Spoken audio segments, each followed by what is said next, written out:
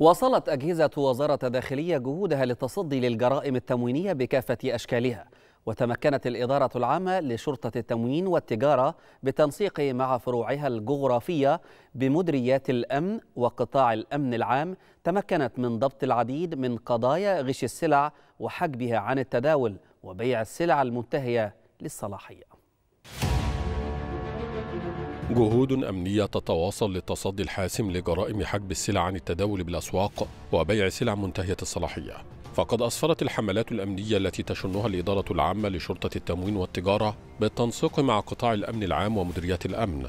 عن ضبط أكثر من 54 طن أرز أبيض تم حجبها عن التداول بالأسواق بهدف تحقيق أرباح غير مشروعة بالجيزة وكفر الشيخ وبني سويف. وضبط قرابة 25 طن دقيق أبيض قام المسؤولون عن عدد من مخازن لتجارة السلع الغذائية ومخابز سياحية بالجيزة والبحيرة بتخزينها لحجبها عن التداول بالأسواق وبيعها بأزيد من السعر المتداول وبأسعار السوق السوداء. كما أسفرت الحملات الأمنية عن ضبط قرابة 189 طن دقيق بلدي مدعم بحوزة عدد من مسؤولي المخابز البلدية بالقاهرة والجيزة والقليوبية.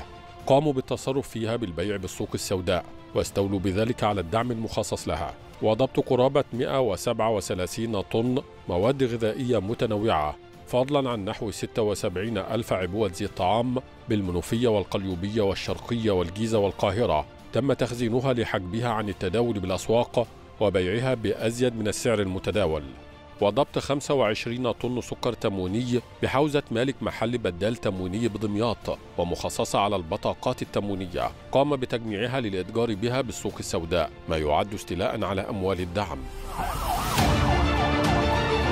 وتمكنت الأجهزة الأمنية من ضبط 55 طن مواد بناء. قام مالك مخزن لتجارة مواد البناء بسوهاج بتخزينها لحجبها عن التداول بالأسواق بقصد بيعها بأزيد من السعر المتداول. وضبط 22 طن أسمدة زراعية وأعلاف حيوانية تم حجبها عن التداول بالأسواق بالغربية والمنوفية بهدف بيعها بالسوق السوداء. وعلى صعيد التصدي لجرائم بيع سلع منتهية الصلاحية أسفرت الحملات الأمنية عن ضبط أكثر من 127 طن مخللات ومستلزمات إنتاجها. غير صالحة للاستهلاك الآدمي بمصنع لإنتاج وتعبئة السلع الغذائية ومعمل بدون ترخيص لإنتاج وتعبئة المخللات بالمنوفية. وضبط 40 طن ملح طعام وملح سياحات غير صالحة للاستهلاك الآدمي وتشكل خطرا على الصحة العامة حال طرحها للتداول بالأسواق وذلك بمصنعين لإنتاج وتعبئة منتجات الألبان بالمنوفية.